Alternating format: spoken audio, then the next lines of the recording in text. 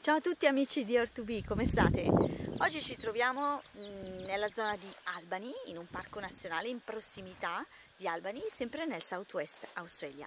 Sono qui con una, una pianta meravigliosa, un arbusto di nome Banksia coccinea.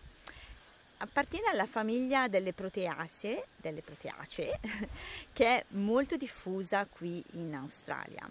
Questa pianta si distribuisce ed è endemica del Southwest Australia, in particolare eh, da Denmark a Esperance, che sono due cittadine in, nel, South, nel Southwestern Australia.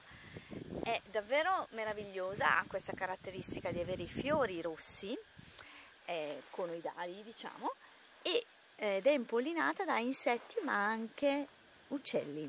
Uccelli che si cibano del nettare ma anche sono uccelli che in generale si nutrono di insetti e qui sono chiamati questi uccelli honey eaters, ovvero mangiatori di miele, proprio perché sono attratti dalla sostanza zuccherina, dal nettare di questa banksia, ma anche di altre eh, specie di banksia.